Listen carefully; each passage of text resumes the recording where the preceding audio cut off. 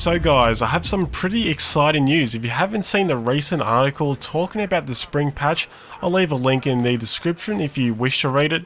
It talks about upcoming content that will be included in the spring patch that's due to arrive sometime, uh, I believe it's a later half of May.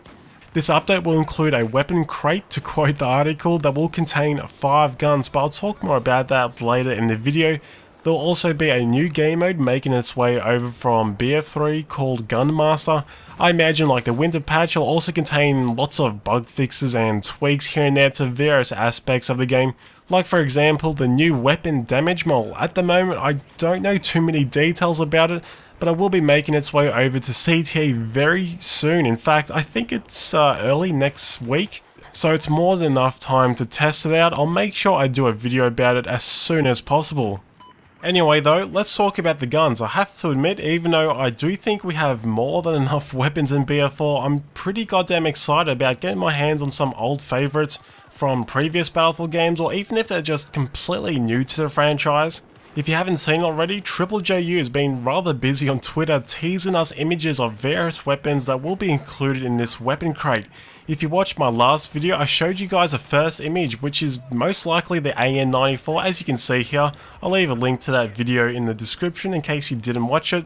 Like I said, there's been a few more teasers. The first one here, I originally thought maybe it's some kind of shotgun.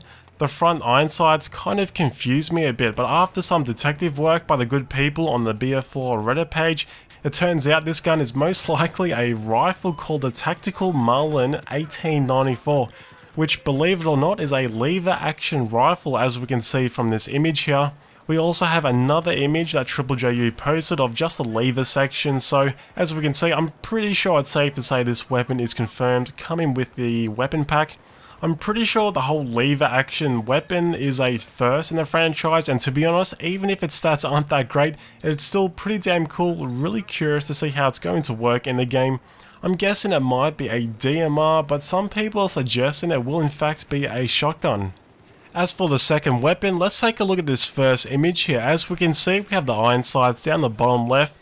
Some people suggested it's an AK of some kind and possibly the AKS-74U, which does make somewhat sense, seeing as it's a fan favourite weapon, but it turns out it's most likely a rather somewhat ugly weapon called the OTS-14. I think that's a proper name for it which is a Russian bullpup assault rifle. We have two more images as well of this weapon from Triple JU. The one on the left side is the side view obviously and the one on the right side is a back end and thanks to the people on the BF4 Reddit page we have this really nice comparison here comparing the side view shot with its real life counterpart. As we can see it's pretty much the same so we can be fairly sure the OTS-14 is confirmed. As for the fourth weapon that's been teased, we have two images here, and it's already been identified as the L86A2, which was a magazine-fed LMG from BF3, and honestly, I wasn't expecting another LMG. And it seems like the whole main theme of this weapon pack is mainly guns from BF3, so I'm guessing the fifth and final weapon will also be from that game as well. But just to summarise the weapon pack teaser pictures over the past couple of days, seen as the OTS-14 is an assault rifle in real life, and we already have the AN-94 as the assault rifle, I imagine the OTS is going to be a carbine in the game, so that makes number 1. Like I said, the AN-94 will be an assault rifle, so that's number 2. The L86A2 will be an LMG, so that makes number 3. And let's not forget about the tactical Marlin 1894 lever action rifle. They'll most likely be a DMR, but may also be a shotgun as well, so not entirely sure, but that makes number 4. When I first heard about the weapon pack, I thought to myself it would probably contain a gun for each weapon category in BF4, but like the Battlelog article states, it'll only be 5, so there's going to be a few weapon groups in the game that'll miss out.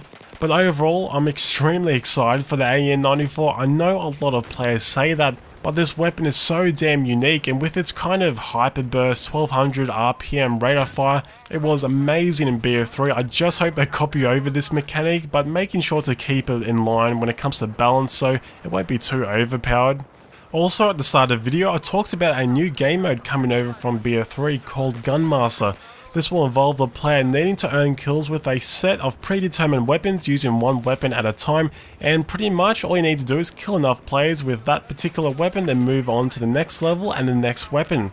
Honestly, this game mode, I didn't play too much in BF3, I rarely even saw it in the server list, but the times I did play, it was really goddamn enjoyable, so hopefully we'll see it pop up in different servers, and not be a game mode that's forgotten. It kind of reminds me of the classic mode preset that came out a while ago. I don't think I've ever seen one server using this preset. I think the only time I see it is if I look on the American servers. I'm pretty sure there's one or two servers running it 24-7.